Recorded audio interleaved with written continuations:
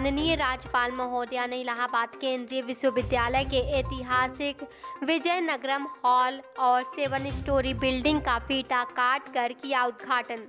इलाहाबाद संग्रहालय में प्रयागराज परिक्षेत्र में गंगा की सांस्कृतिक विरासत शीर्षक प्रदर्शनी का माननीय राज्यपाल महोदया ने किया शुभारंभ। माननीय राज्यपाल श्रीमती आनंदीबेन पटेल गुरुवार को इलाहाबाद केंद्रीय विश्वविद्यालय के विज्ञान संकाय स्थित अद्भुत नक्काशी एवं खूबसूरती से लिपटा ऐतिहासिक विजयनगरम हॉल और सेवन स्टोरी बिल्डिंग का फीता काट कर उद्घाटन किया। हॉल में कुछ देर बैठकर हॉल का अवलोकन किया। विश्वविद्यालय की कुलपति द्वारा माननीय राज्यपाल महोदया को स्मृति चिन्ह भेंट किया गया। साथ ही माननीय राज्यपाल द्वारा हॉल पर आधारित विशेष डाक कवर जारी किया गया।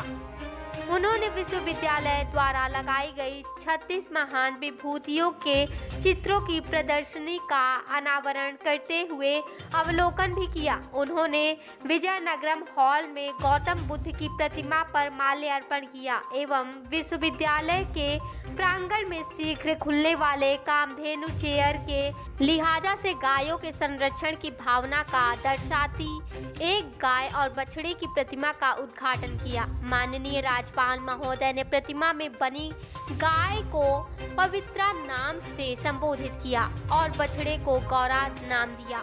इन कलाकृतियों को बनाने वाले कारीगरों को स्मृति चिन्ह देकर सम्मानित भी किया। इस अवसर पर इलाहाबाद विश्वविद्यालय की कुलपति संगीता श्रीवास्तव, माननीय सांसद इलाहाबाद प्रोफेसर रीता बहुगुना जोशी सहित अन्य विशिष्ट जन उपस्थित रहे। माननीय राज्यपाल महोदया इलाहाबाद केंद्रीय विश्वविद्यालय में आयोजित कार्यक्रम के उपरांत इलाहाबाद संग्रहालय आयोजित कार्यक्रम में प्रतिभाग किया।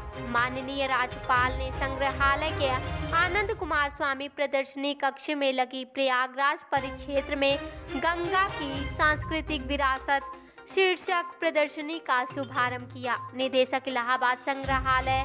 डॉक्टर सुनील गुप्ता ने माननीय राज्यपाल महोदया और श्री महेश कुमार गुप्ता, अपर मुख्य सचिव माननीय राज्यपाल को प्रदर्शनी का भ्रमण कराया। इसके पश्चात संग्रहालय में प्रस्तावित आज़ाद विधिका की प्रगति निरीक्षण महोदया को श्री एन रामदास अय्यर एनसीएसएम दिल्ली ने कराया। इसके पश्चात नवनिर्मित सीसीटीवी कंट्रोल रूम उच्चीकृत पावर सब स्टेशन एवं फायर अलार्म सिस्टम का लोकार्पण के बाद आयोजित बैठक की।